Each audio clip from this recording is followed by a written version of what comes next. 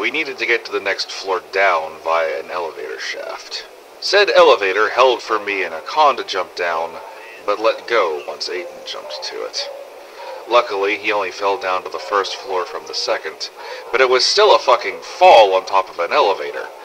He didn't have the stamina to climb to us, so Hakon told him to check the first floor for more inhibitors like what he gave him back at the girls' workshop. When he caught up to us, Aiden said he had to sneak through a room of sleepers while also avoiding another volatile. I'm glad it wasn't me down there. This was the last of it, though, as Hakon had found a fresh biomarker.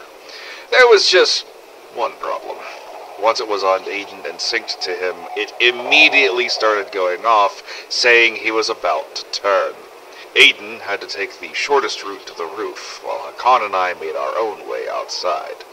Luckily for us, the sun was out, meaning that volatile that had started to chase Aiden couldn't follow us past the doorway.